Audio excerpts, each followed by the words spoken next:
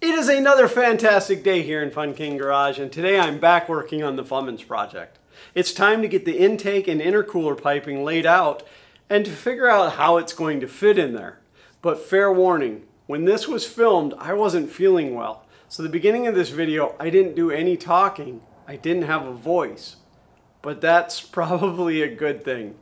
Anyway, join me in this uh, little montage with a little bit of music behind it as I try to figure out where I'm going to put the piping and how I'm going to route it to the intake.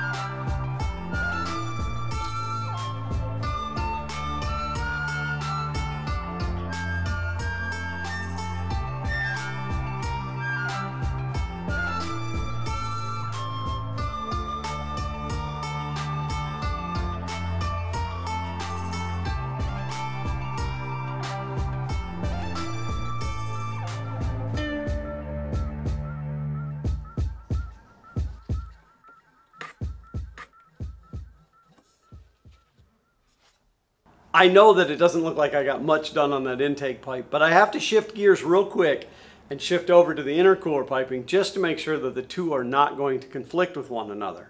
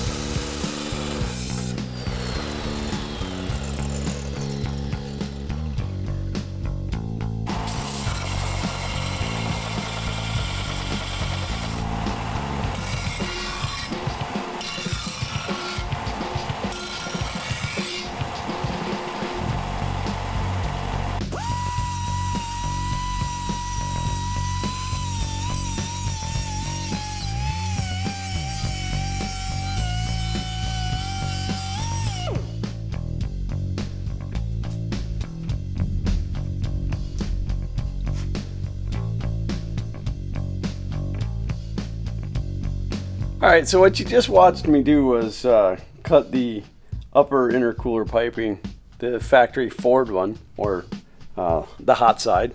And the reason being is, is I'm going to work into making the factory Ford pipe tie into the factory Dodge pipe. And you can see that it's a little, the, the Ford pipe's a little higher than the Dodge pipe. So we're going to jog it down.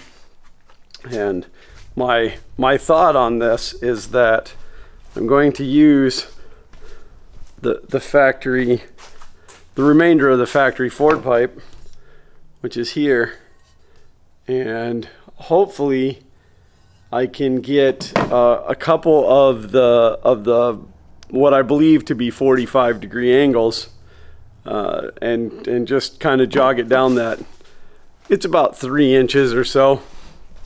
And if I can drop it down that that far and a little bit off to a little bit off to the side, then in theory it should work out pretty well. So let's see how that how that goes.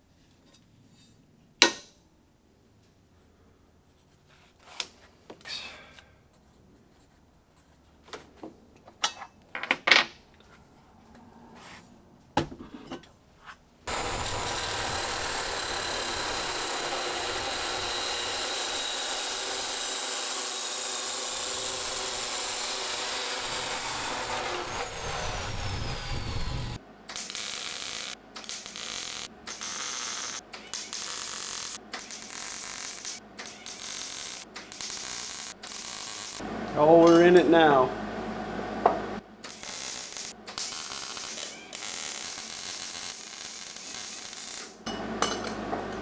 Oh, that TIG welding would have been the way to do this, but had enough seat time yet.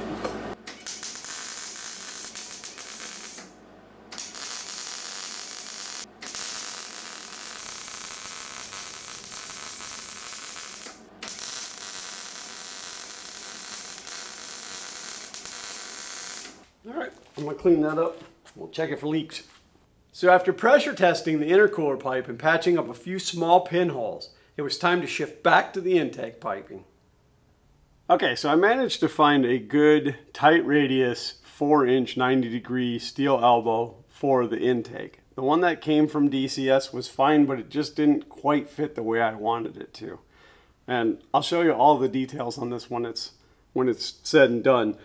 Right now what I'm worried about is blocking off the end of the factory airbox. And for that, I made this template out of some thin plywood and I've shaped it and sized it to where I like it. And today I'm going to transfer this into a high temperature plastic. All right, so this is the high temp plastic that I'm going to be using and it's a scrap from a different project. But I'm going to transfer my template to this using some double double-sided tape and, uh, and a wood router. So let's hope that goes well.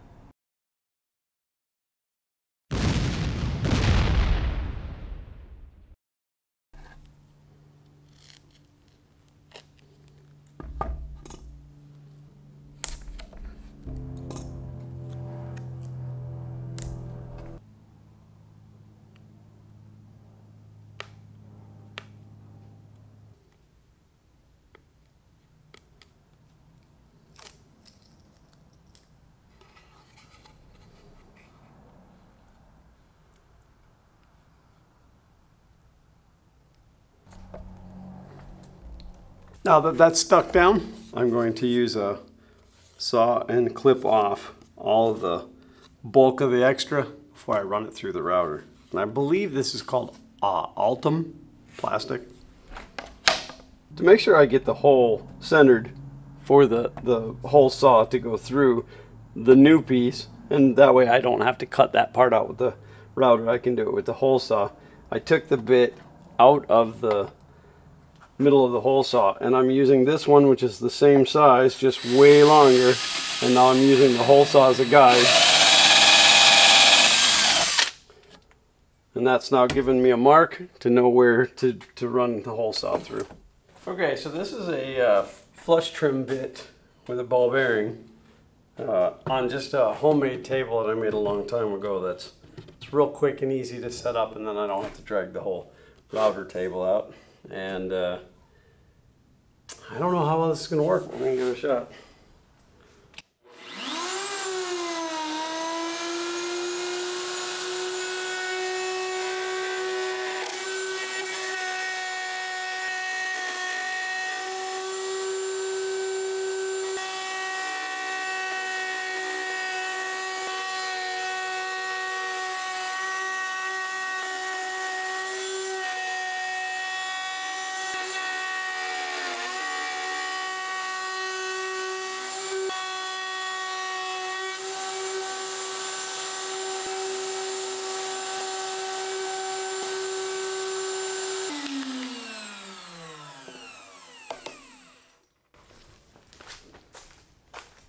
Well, I'd say that worked pretty well. I uh, I had my doubts because cutting that plastic on the uh, miter saw was a little bit tough, but uh, it routed beautifully. So, yes. All right, so I know I said that I was going to use the hole saw to cut through this, but uh, I started it and, well, no, it didn't like that.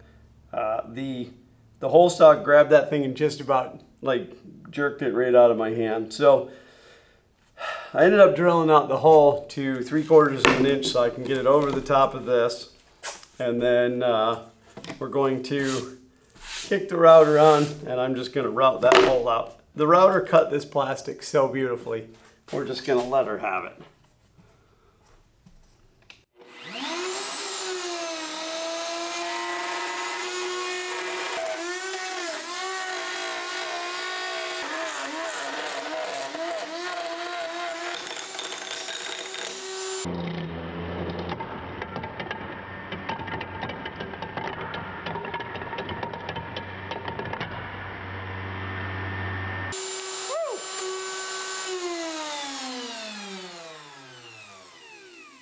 Okay, that I didn't consider. And uh, good thing I had my safety goggles on. Could have got me in the eye. But uh, that was fun. Let me go ahead and fire it back up and clean this hole up a little bit.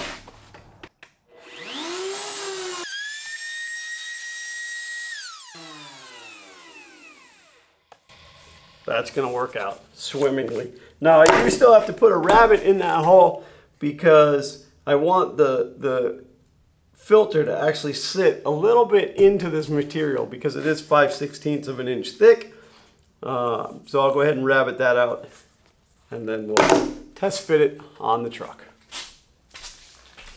Okay, so I took a round over bit and went around the whole thing so that it's nice and smooth and no sharp edges. Not that that was really super necessary, but it does make for a nicer piece.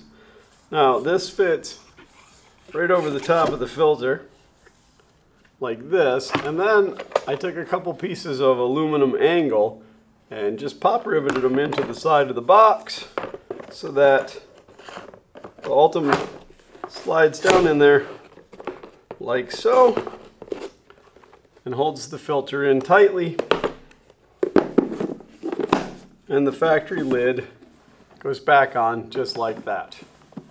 Now we just got to get it into the truck and get the pipe cut to be the right size.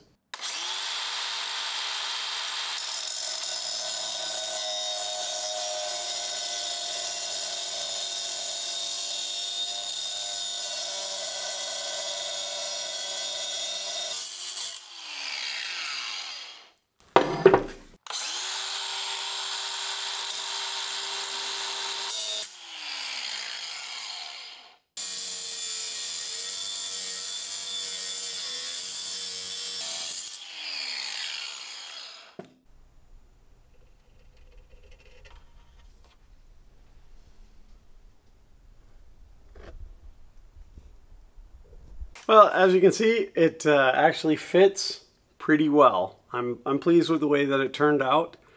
Um, if, if you're interested, this was the elbow I ended up using. It's a 41474. And I can't remember who made this, but I will try to uh, find it again and put a link to it in the description. Um, it's just, it's a, it's a tight, it's a four inch radius instead of the typical ones, which were like six and a half, seven, eight inch radius. So they were long flowing. This is a little bit tighter. Now I still do have to come up with some kind of a mount for the uh, mass airflow sensors, the Cummins and the Ford, but uh, we'll get those in next. Yes, next up, but unfortunately that means the next episode. Yes, this is a to be continued episode because there was so much detail and build that went into this intake that I would either had to cut a bunch of stuff out or this episode would have been terribly long and I didn't want either one of those two. So I am going to ask for you to come back in the next episode to watch the finale build of the intake. I do thank each and every one of you for being here and according to my analytics, most of you are returning viewers but are not yet subscribed. So let's take a second and fix that right now and just hit that subscribe button.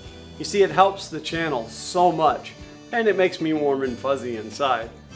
That's why we ask you to do it, is it really is important. Now, there's a lot of progress still going on with the truck.